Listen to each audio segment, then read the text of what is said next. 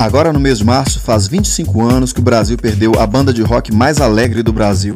Music, mina, seus cabelos é da hora. Mamonas Assassinas, o cometa da alegria.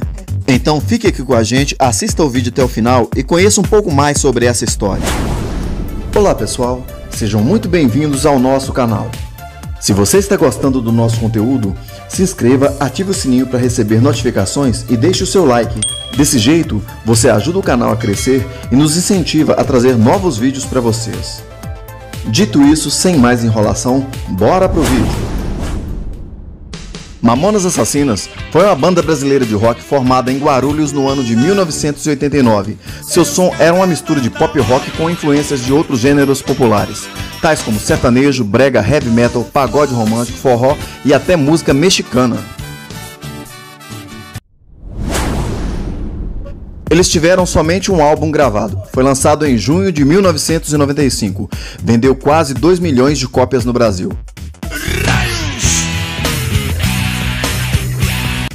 Sua formação contava com o baterista Sérgio Reis de Oliveira, que mais tarde usaria o nome artístico de Sérgio Reoli, e o guitarrista Alberto Rinotto, que mudou o nome para Bento Rinotto.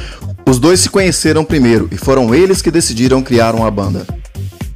Na época, Samuel Reis de Oliveira, que mais tarde adotaria o nome de Samuel Reoli, irmão de Sérgio, não se interessava em música, preferia desenhar aviões. Contudo, ao ver Sérgio e Bento ensaiarem, Samuel se interessou pela música e passou a tocar baixo elétrico. Os três formaram o grupo Utopia. E como a maioria das bandas iniciantes, eles cantavam covers de grupos como Traje a Rigor, Legião Urbana, Titãs, Paralamas do Sucesso, Barão Vermelho e outros mais. A banda começou a se apresentar na periferia da Grande São Paulo.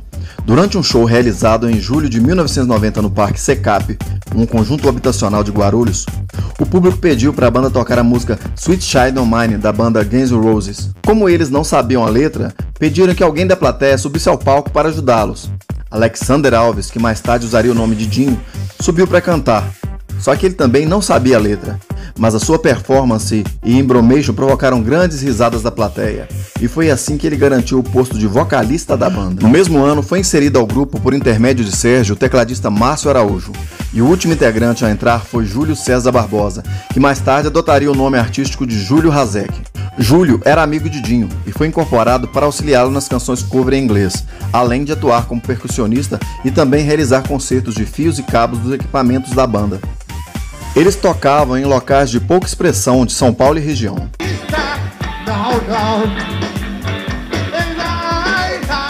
A banda quase não faturava, às vezes tinham até mais gastos do que lucros. Em 1992, conheceram Rick Bonadio e em seu estúdio produziram o disco Utopia, seu primeiro e único disco independente, composto por seis canções. Fizeram mil cópias, mas apenas 100 foram vendidas.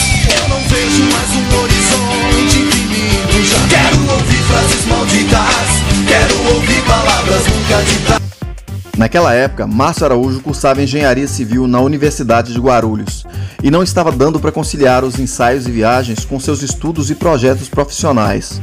E por conta disso, ele passou a faltar nos ensaios e viagens quando havia aulas na faculdade. E assim, ele acabou saindo do grupo. E Júlio Razek passou a ser o tecladista e o back vocal da banda. Um dos sonhos da banda era cantar no principal ginásio da cidade de Guarulhos, o ginásio Pascoal Tomeu.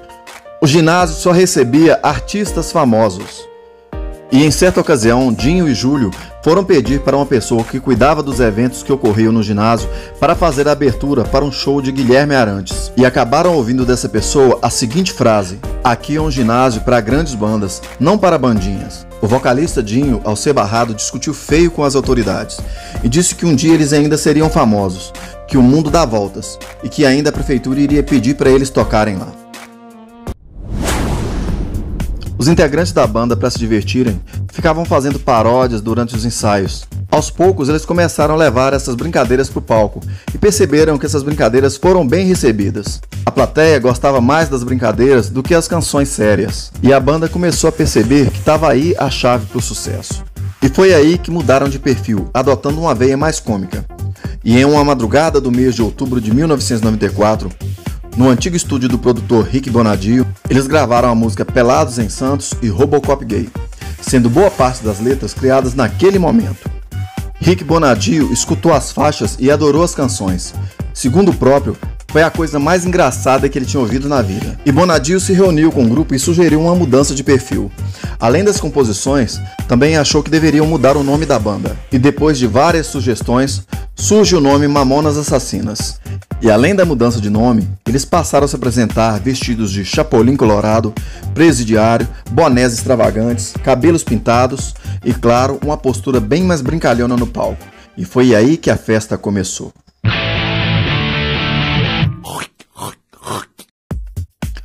Algum tempo depois, eles assinaram um contrato com a EMI. Fizeram mais músicas para poder completar o disco e foram mandados para Los Angeles, nos Estados Unidos, para gravar o seu único disco. Quando a música Vira Vira tocou na Rádio Rock 89 FM, os Mamonas estouraram de vez. Roda, roda, vira, solta, roda, vem, me passar a mão na bunda, ainda não comi ninguém. E apesar de suas letras serem politicamente incorretas, por incrível que pareça, os Mamonas fizeram um tremendo sucesso entre o público infantil. E com o estrondoso sucesso comercial, eles saíram em uma exaustiva turnê, se apresentando em programas como Jô Soares 11:30, Domingo Legal, Programa Livre, Domingão do Faustão. Tocavam cerca de 8 a 9 vezes por semana. Fizeram apresentações em 24 dos 27 estados brasileiros, incluindo o Distrito Federal chegando a fazer de dois a três shows por dia, e seu cachê foi um dos mais caros do país. Todas as vezes que apareciam na televisão, a audiência triplicava. Eles foram apelidados de rolo compressor, porque as outras bandas e artistas tinham medo e não queriam tocar na mesma cidade que eles, uma vez que todo mundo só queria assistir os Mamonas.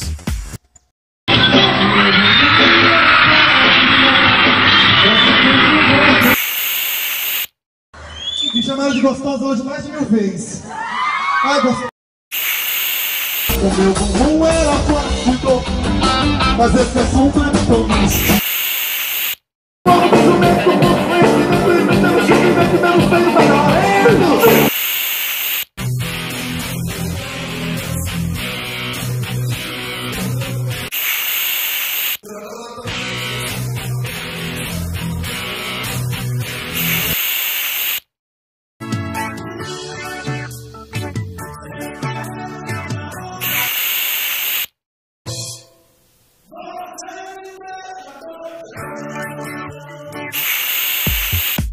Eles já preparavam uma carreira internacional, com partida para Portugal no dia 3 de março de 1996. Mas em janeiro de 1996, eles finalmente conseguiram realizar o sonho de tocar no ginásio em Guarulhos, cinco anos depois da humilhação que eles sofreram ao serem rejeitados. Foi um momento que o cantor aproveitou para desabafar. Confere aí.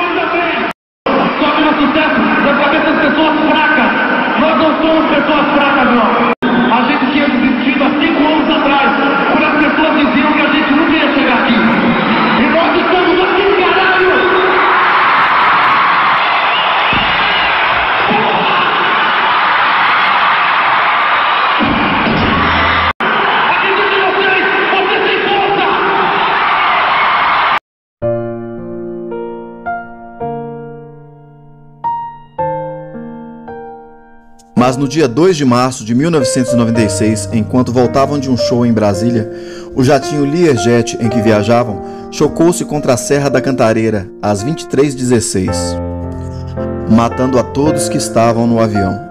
A tragédia chocou o país e o enterro foi transmitido em TV aberta com canais interrompendo sua programação normal a todo momento.